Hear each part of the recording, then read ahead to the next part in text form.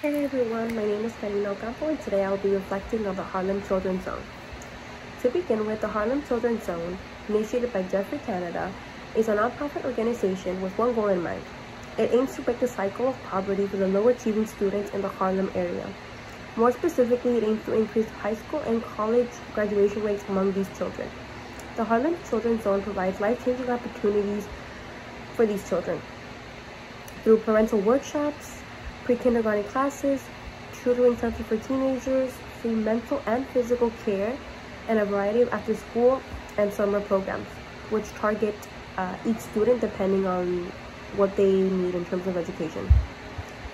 Uh, the Harlem Children's Zone initiative gained success through psychoeducational strategies and community involvement, or collaboration.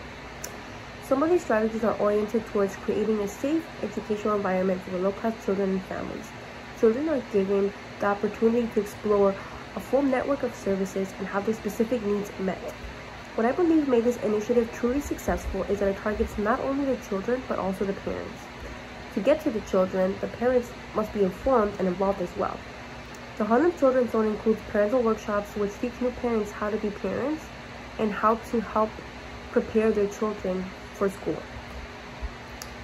Um, without the parent support, and active involvement, the children may not benefit or even be aware that these programs are being offered in their neighborhood. In addition, community collaboration played a crucial role in the development of this organization.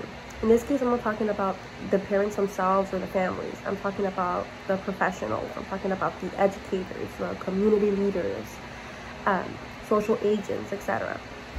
Uh, essentially, they all come together and to participate in the design, the configuration, and adaptation of the programs and workshops offered. Basically, they make this all happen. These programs components are impact on the children's stress, coping, social support, and resilience. It gives the children a sense of relief and opportunity they can take advantage of. Stress levels may decrease because low-income minorities are presented with an opportunity to get a proper education.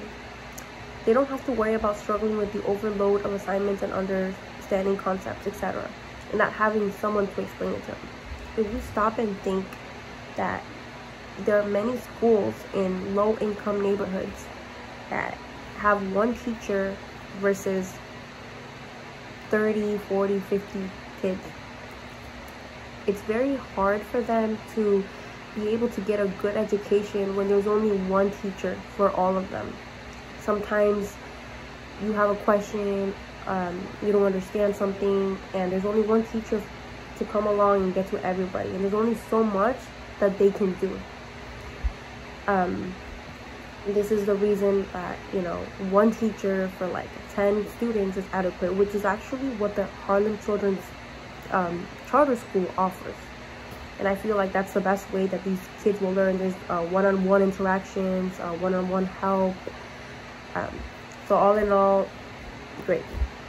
Um, these programs and workshops help parents so that they can become the social support that their children need to succeed. Um, and eventually obtain that college degree that they all hope for.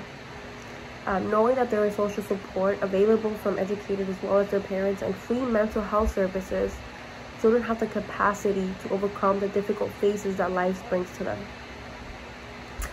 Thank you guys for watching. That is all.